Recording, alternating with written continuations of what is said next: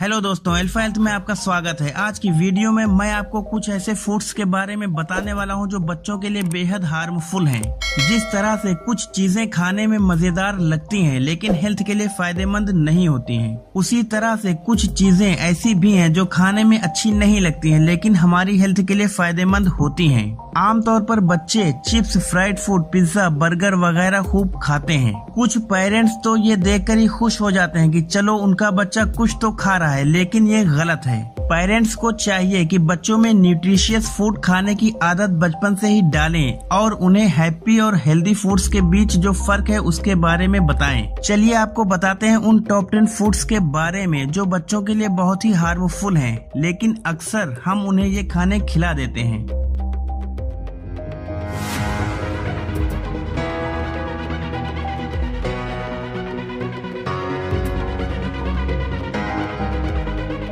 Number ten, macaroni. अगर आपको macaroni खाने का शौक है और आप इसे डेली या हर दूसरे दिन खाते हैं तो अब अलर्ट हो जाएँ, क्योंकि ये फास्ट फ़ूड आपकी सेहत के लिए एक बड़ा खतरा बन सकता है। टेक्सास न्यूरोलॉजी की एक रिपोर्ट के मुताबिक, इसमें पाई जाने वाली पीली डाई की वजह से माइग्रेन जैसी प्रॉब्लम होती है।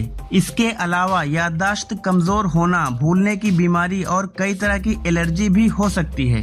नंबर नाइन पोटैटो चिप्स जिस ज़बरदस्त तरीके से पैक्ड पोटैटो चिप्स मार्केट में बिक रहे हैं, उससे ये ज़ाहिर होता है कि किस हद तक पोटैटो चिप्स ने मार्केट पर कब्जा जमाया हुआ है। ये सभी के लिए हार्मफुल हैं और खास तौर पर बच्चों के लिए तो बहुत ही ज़्यादा।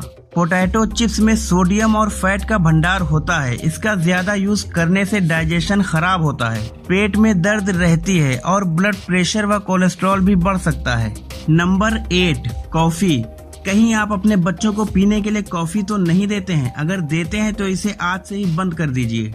क्योंकि कॉफ़ी में कैफीन होता है जो हड्डियों की ग्रोथ में नुकसान पहुंचाता है। इसके अलावा इसमें कुछ ऐसे एसेंस भी होते हैं जिससे आयरन और कैल्शियम का खून में ऑब्जर्वेशन कम हो जाता है, जिससे रात में नींद न आना और दांत खराब होने जैसी प्रॉब्लम भी हो सकती है। Number seven, processed meat. Processed meat आमतौर पर अनहेल्दी माना जाता है। इसमें कोई डाउट नहीं है कि प्रोसेस्ड मीट में कई हार्मफुल केमिकल्स होते हैं। प्रोसेस्ड मीट में जो फ़ूड प्रोडक्ट्स शामिल हैं, उनमें हॉट डॉग्स बेकन और बोलोगना है, जिनमें सोडियम और सेचुरेटेड फैट बहुत ज़्यादा तादाद में होता है। अगर डेली इसका ज़्यादा यूज़ किया जाए तो इसकी वजह से heart disease diabetes high cholesterol और ब्लड प्रेशर जैसी बीमारियों के होने का रिस्क बढ़ जाता है।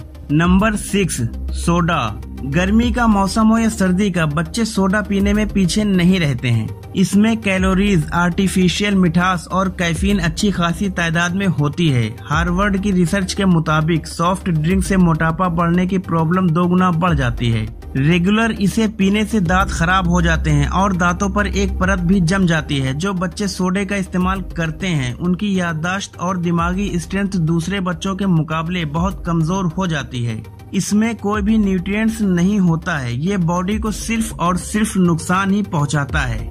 नंबर फाइव फास्ट फ़ूड बच्चे फास्ट फ़ूड के दीवाने होते हैं, लेकिन उनको ये नहीं मालूम होता है कि उनका फेवरेट फास्ट फ़ूड उनके लिए बेहद हार्मफुल होता है।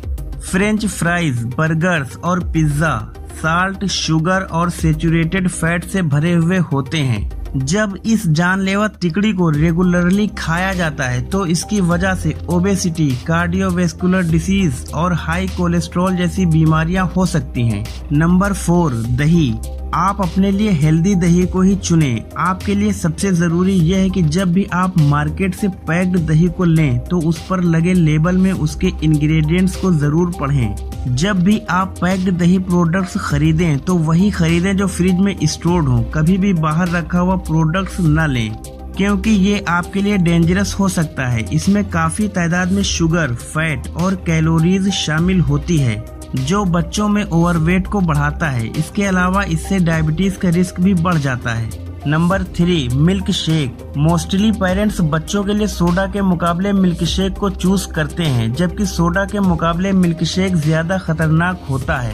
इसमें बहुत सा फैट और शुगर शामिल होता है। हाल ही में हुए एक रिसर्च के मुताबिक रेगुलरली फैटी मिल्क शेक पीने से कार्डियोवेस्कुलर डिसीज होने का खतरा बहुत ज़्यादा बढ़ जाता है। छोटे बच्चों को इसे पीना और भी हार्मफुल साबित हो सकता है। नंबर टू ग्रेप्स आप सोच रहे होंगे कि ग्रेप्स तो एक अच्छा फ्रूट है, फिर ये इस लिस्ट में क्यों शामिल है? ग्रेप्स विटामिन और मिनरल्स से भरपूर होते हैं, जिसकी ज़रूरत बच्चों को होती है। लेकिन फिर भी ये बच्चों के लिए हार्मफुल हैं। वो इसलिए क्योंकि ये बड़े और बहुत ही चिकने होने की वजह से बच्चों के गले में फंस सकते हैं, जिससे घुटन जैसी प्रॉब्लम हो सकती है। इसके अलावा इन्हें बच्चों को डाइजेस्ट करने में भी बड़ी ही मुश्किल होती है। बच्चों के लिए इसका सबसे अच्छा रिप्लेसमेंट है banana number one juice juice और हार्मफुल ये सुनकर तो आप शॉक्ड हो गए होंगे, लेकिन ये सच है। गर्मियों में बॉडी में पानी की कमी न हो, इसलिए जूस पीना सबसे अच्छा सोल्यूशन माना जाता है। अब तो बहुत से कलर्ड पैक्ड जूस आने लगे हैं, जो बिल्कुल भी सही नहीं है। एक गिलास जूस में पाँच से छह टी स्पून शुगर होती है। ये शुगर फ़ौरन ही बेतरतीब तरीके से ब्लड स्ट्रीम में ऑब्ज़र्व हो जाती है। जो मेटाबॉलिज्म के कार्बोहाइड्रेट के लिए खराब है। The American academy of paediatrics ने ये रिकमेंड किया है कि जूस पीने की जगह फ्रूट खाना ज़्यादा बेहतर है, क्योंकि जूस बनाने के लिए फल को निचोड़ा जाता है, जिसकी वजह से इसके कई न्यूट्रिशन खत्म हो जाते हैं। फलों में फाइबर और विटामिन मौजूद होते हैं, जो कि आपके बच्चों की ग्रोथ के लिए बेहद ज़रूरी हैं। दोस्तों, आपको आज की ये वीडियो कैसी लगी? हमें कमेंट करके ज़रूर बताएँ। अगर वीडियो पसंद आई हो तो इसे लाइक और शेयर कीजिए, और ऐसे ही और भी वीडियोस को देखने के लिए हमारे चैनल को सब्सक्राइब करके बेल आइकन को प्रेस कर दीजिए। धन्यवाद।